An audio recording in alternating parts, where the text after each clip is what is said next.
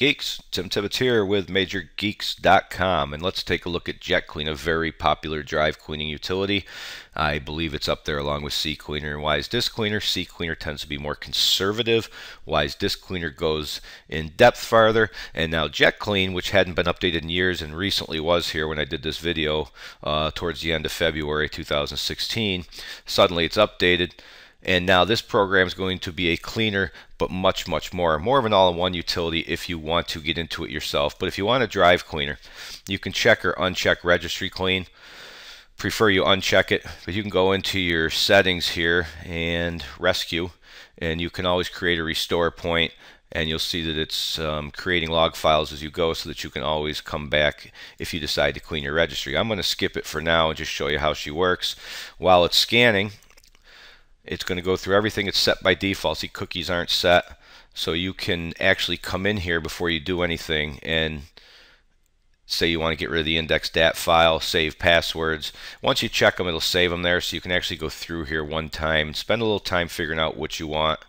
Um, and then of course the RAM clean, which I'm a big fan of because none of the other programs have that. So it's nice if you don't reboot your machine a lot like I do, and it'll clean the memory while it's in here. So you click it, as you can see, it's very, very fast for the most part, as fast as it takes me to tell you that sentence.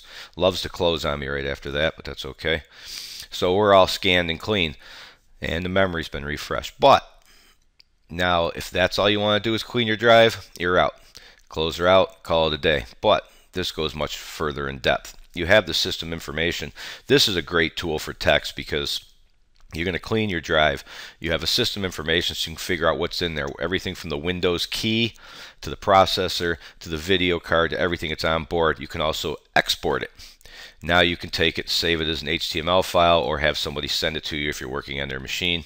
You have the uninstaller.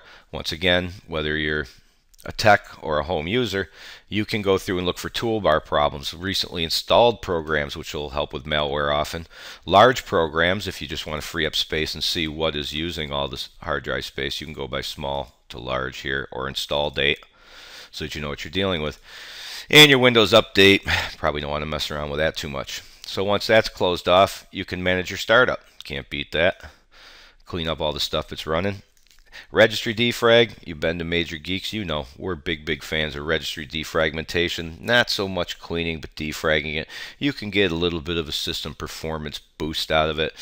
Whether you'll notice it or not, it's a different story, but it's something we're bigger fans of. We try to tell people registry cleaning, eh, registry defrag, yeah. So it's built in, which is nice. There's another program you don't need to download.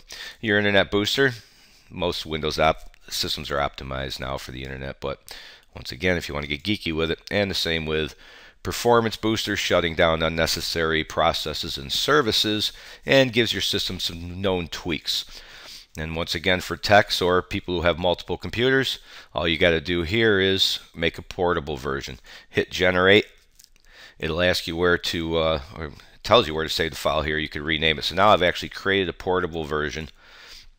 And again, I'm running in a smaller window, but as you can see, there it is right there. So I can take that now and bring it on a thumb drive anywhere I want to go.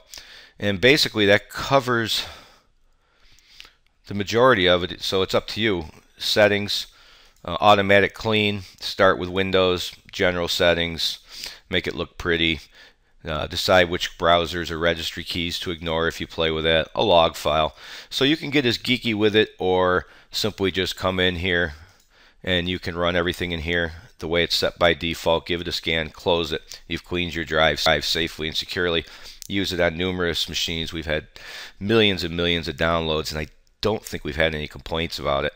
And once again, one click for simple, tools to get geeky with it, settings to make sure everything's under control. And that's the whole program right there. In a nutshell, easy to use, totally free, no pups involved, nothing give it a shot. The link will be in the description. And we thank you so much for watching, as always, and we will see you next time.